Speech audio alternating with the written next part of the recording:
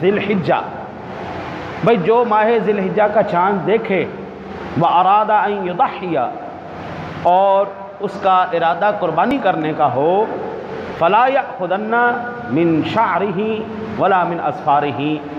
तो वो जब तक कुर्बानी न कर ले, अपना बाल और नाखून न काटे। यानी ये मैंने कल भी अर्ज़ किया था मगरिब के वक्त में कि ये चाँद चढ़ने वाला है, जैसे ही चाँद का ऐलान होगा तो आप लोगों में से जिस बंदे ने कुर्बानी करनी है, वो बंदा क्या करे? नाखून और बाल न काटे।